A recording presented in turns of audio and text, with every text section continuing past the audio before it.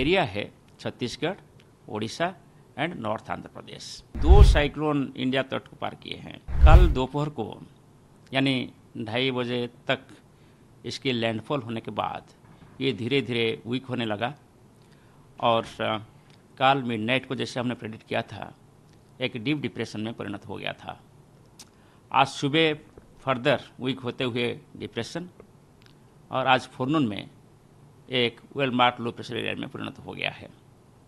अभी ये north east Telangana और इसके आसपास जो साउथ छत्तीसगढ़, साउथ उड़ीसा और कोस्टल आंध्र प्रदेश है, यहाँ केंद्रीभूत है और अगले बारह घंटे के अंदर उत्तर उत्तर पूर्व दिशा में गति करते हुए और फर्दर वीक हो जाएगा। इसलिए इसका जो प्रभाव है, ये बहुत कम हो गया है। अभी अगले 12 टू 18 आवर्स में रेनफॉल जारी रहेगा और कहीं कहीं आइसोलेटेड हेवी रेनफॉल हो सकता है, यानी सेवन सेंटीमीटर शुरू करके इलेवन सेंटीमीटर तक। वो एरिया है छत्तीसगढ़, ओडिशा एंड नॉर्थ आंध्र प्रदेश। इसके अलावा और कहाँ इसका कोई डिजास्टरस इम्पैक्ट नहीं है अभी। हेवी रेनफॉल इसके प्रभाव में और कहाँ होने वाला नहीं है। साउथ आंध्र प्रदेश अभी कम्प्लीटली क्लियर हो चुका है क्लियर हो चुका है। तेलंगाना भी क्लियर हो गया है, कोई हेवी रेनफॉल नहीं होने वाला है। तमिलनाडु भी क्लियर हो गया, वहाँ कोई भी हेवी रेनफॉल नहीं होने वाला है ये साइक्लोन की वजह से। जो सी एरिया था वो भी अभी क्लियर हो गया है।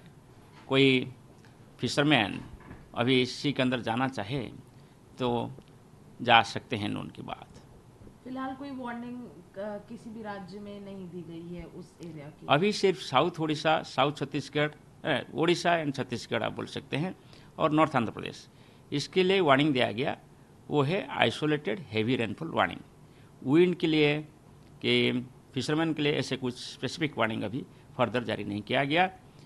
अभी वहाँ जो एरिया है, जैसे south Orissa south Chhattisgarh north Andhra Pradesh इसमें विंड स्पीड लगभग 20 टू 30 किलोमीटर पर आवर हो सकता है। इसके कोई डिजास्टर्स इम्पैक्ट नहीं होता है। आखिरी सवाल, सर, कितना स्ट्रॉन्ग था ये साइक्लोनिक स्ट्रॉम बाकी साइक्लोनिक स्ट्रॉम क्या इससे ज़्यादा प्रभाव, ज़्यादा प्रभावी था ये वाला साइक्लोनिक स्टॉर्म आप इस साल की बात करें कि दो साइक्लोन इंडिया तट को पार किए हैं। एक है साइक्लोन विपर्जय जो जून महीना में गुजरात कोस्ट को पार किया था। उससे विंड स्पीड था 100 टू 110 किलोमीटर आवर और ये जो साइक्लोन अभी आंध्र प्रदेश तट को टकराया, इसका विंड स्पीड रहा 90 to 100 kilometre per hour coasting to 110 kilometre hour so therefore ये साइक्लोन का आप, वो साइक्लोन के साथ कंपेयर कर सकते हैं, मगर इंटेंसिटी थोड़ी से कम था। Compare to विपर्जय